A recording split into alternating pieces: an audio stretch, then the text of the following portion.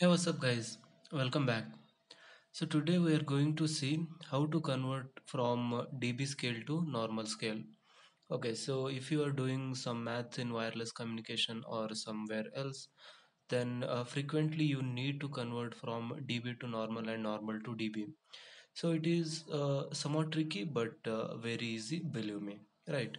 So, how to do it in a simple, very, uh, very simple. I mean, in two steps uh, so that thing we'll be doing uh, today. Okay. So for the sake of understanding i have just taken an example here. So let us take um, the power which is given as 3 dB here. So we need to convert this 3 dB to normal value right?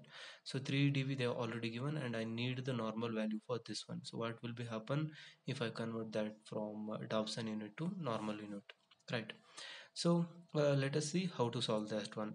So given powers you just write like this. 10 log 10 of 10 log 10 equal to 3 that means this I'm converting to the logarithmic scale. I mean multiplying by log scale in order to make it a normal value. Okay because it is in dB. So I will just write 10 log 10 equal to 3 and after that I need to write uh, this 10 I have to take uh, to the right hand side here and uh, this 10 will be going as a denominator here. So this is a 10 which is there and uh, uh, 10 to the power 3 by 10 I need to write. So this is the standard one. So whatever value will be there divided by 10 you have to write which is taken from here right? So after you do this one you will be getting 1.995 so let me just show you in the cash as well. Okay so what we are doing? 10 to the power uh, 3 by 10 right so 10 to the power 3 by 10 when I do you can see it's 1.995 and I can round up it to 2 here. So that's why when 3 dB is converted to the normal scale it will become 2 here right? So that's about the first method. And now coming to the second one which will be reverse of that one like conversion from normal value to the dB value. Okay. So I am doing that one? See here so this is taken as input again here. So that's why I written I here.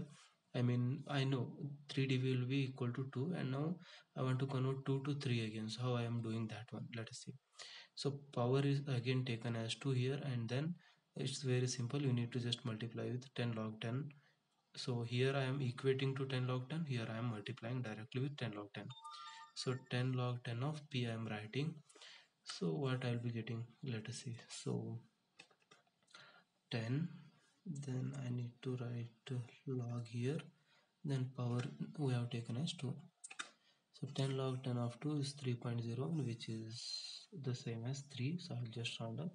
And you can see this is same as that of the previous 3 dB. So when you convert 3 dB to normal it will become 2 and when you convert normal value 2 to the Dobson unit it will become 3 so why I'm taken 3 dB is because we know all the frequencies in wireless communication they are taken as 3 dB cutoff. I mean if this is the beam then there will be 3 dB value here.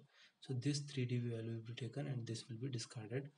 Okay so that is the standard practice in wireless communication and antenna propagation. Right so I hope you got an idea how to do the conversions and if you like the video please don't forget to like hit the like button and if you are not still subscribed to the channel do subscribe because we'll be uploading these type of videos continuously. So thank you guys. Thanks for watching. See you in the next one